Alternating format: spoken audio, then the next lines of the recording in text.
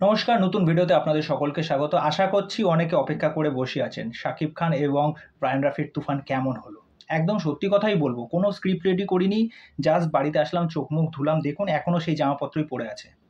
তা যারা বলছিলেন যে এটা কেজিএফ অ্যানিম্যালের সস্তা কপি তাদেরকে বলব লজ্জা লাগা দরকার। জাস্ট লজ্জা লাগা দরকার।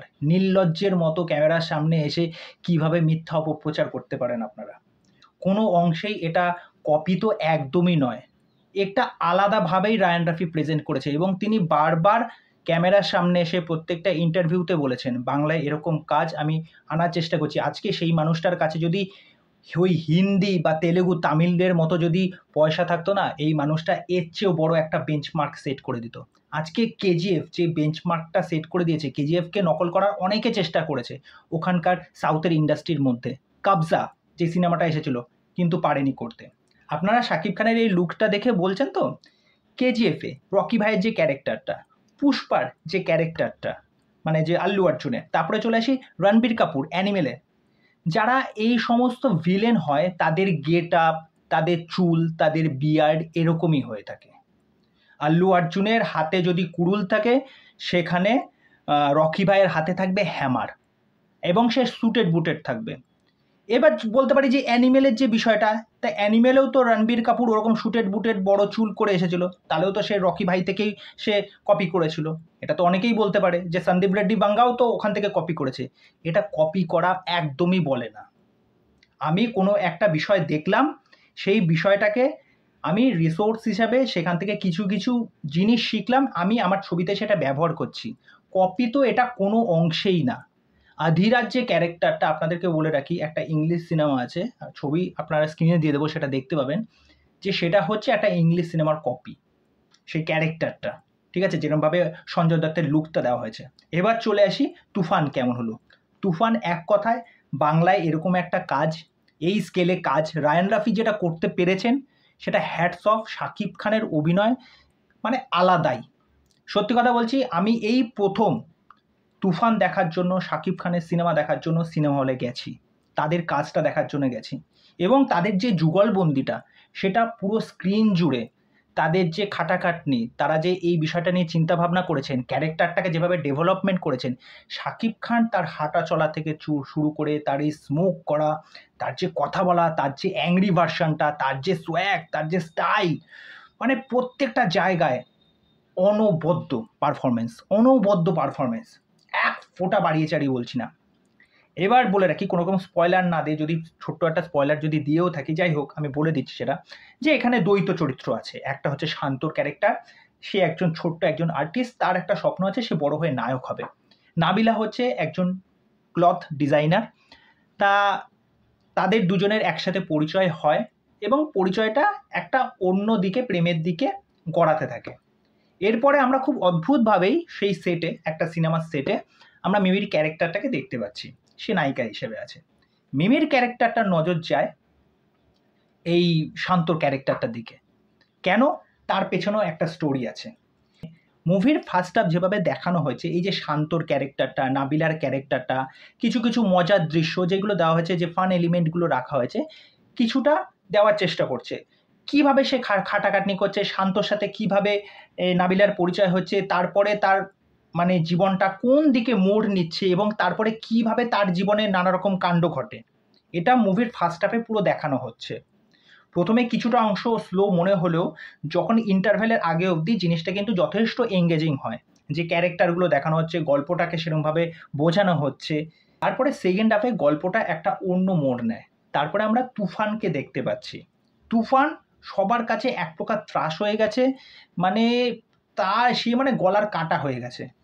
সবার কাছে। মানে তুফান যা বলবে সেটাই শেষ কথা। এবার তুফানকে শেষ করার জন্য একজন মানুষকে দরকার, সে হচ্ছে আকরাম মানে চঞ্চল চৌধুরী। চঞ্চল চৌধুরী ক্যারেক্টারটা মোটামুটি প্রায় ধরে রাখুন, ওই এক ঘণ্টা চল্লিশ পঁয়তাল্লিশ মিনিটের পর আসবে। সে যখন আসবে, তার ক্যারেক্টারটার মধ্যে একটা মজা আছে। মানে সে যে মিমির সাথে ইন্ট্রোডাকশান করছে তুফান সম্পর্কে জানতে চাইছে। মানে সেই কথাগুলোর মধ্যে না ফান এলিমেন্ট আছে। মানে তার ক্যারেক্টারটা বেশ মজার। সেই যখন কোনো ডায়লগ বলছে বা এমনি নর্মাল কতগুলো কথা বলছে মানে খুব ক্যাজুয়ালভাবে সেগুলো বেশ মজা লাগছে। এবার চলে আসে কিছু কিছু দৃশ্য। কোন দৃশ্যটা আমার কাছে স্পেশালি ভালো লেগেছে? একটা দৃশ্যে আছে যখন শান্তর পাড়াতে একজন মহিলা গর্ভবতী তার যখন বাচ্চা হবে, সেই জায়গায় শান্ত যেভাবে তাকে সাহায্য করবে, যেভাবে পাড়ার মানুষকে কাছে নিয়ে আসবে, তারপরে সেখান থেকে শান্তর জীবনটা একটা আলাদা, অন্য রূপ নেবে, সেই পোর্শনটা আমার খুব ভালো লেগেছে। আরেকটা পোর্শন যেটা হচ্ছে অ্যাকশনের দৃশ্য যেখানে আপনারা সকলেই সেটা ট্রেলারে দেখেছেন, সেই বড় মেশিন গান নিয়ে যখন শাকিব খান ঢুকবে, ওই যে শটটা যখন তাকে যাচ্ছে তাইভাবে অপমান করা হচ্ছে তো এই, তুই হ্যাঁ লোকে এখানে পঞ্চাশটা ষাটটা, একশোটা খুন করে এখানে বসে থাকে, যা যা যা যা মানে যাচ্ছে তাইভাবে তাকে অপমান করা হয়। তারপরে যে অ্যাকশনটা নেবে, সেই অ্যাকশনটা দারুণ। আর ওখানে যে শটগুলো আসছিল না একটা শট করছে কাট স্টপ হয়ে যাচ্ছে, আবার শটটা দেখাচ্ছে। ওই ডিজাইনটা দারুণ লেগেছে। আরেক, আরেকটা শট আমার খুব ভালো লেগেছে, সেটা হচ্ছে যখন ওর বাবা তুল্য একজন ব্যক্তি যে তার গ্যাংয়ে আছে, এই তুফানের গ্যাংয়ে আছে, তাকে যখন ওই হসপিটালে বাঁচাতে যাবে, সেই দৃশ্যটা মানে একাই লড়ে যাচ্ছে, একাই লড়ে যাচ্ছে। আর এটার এন্ডিং পোর্শনে গিয়ে যে টুইস্টটা রয়েছে, সেটা দেখবার পর আমি বললাম ও মাই গড এটা কি হলো? বিষয়টা আছে আমি বলব না যে খুব হাইফাই টুইস্ট কিন্তু সেই টুইস্টটা এত সুন্দরভাবে দেখানো হয়েছে, সেটা দেখে দারুণ মজা লাগছে। তা ওভারঅল আমি এক্সপেক্ট করিনি এটা এরকমভাবে শেষ হবে।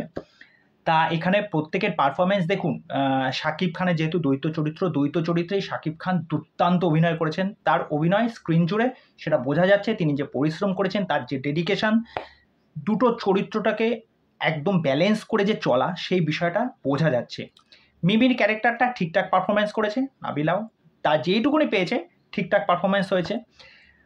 চঞ্চল চৌধুরী যেইটুকুনি করেছে, তিনি তো দারুণ। মানে আর এক একটা যে ডায়লগ যে কয়েকটা পাঞ্চ লাইন শোনা গেছে শাকিব খানের মুখ থেকে, যে আমি পোষ্য না, আমি কারোর পোষ মানি না, পোষ মানাই।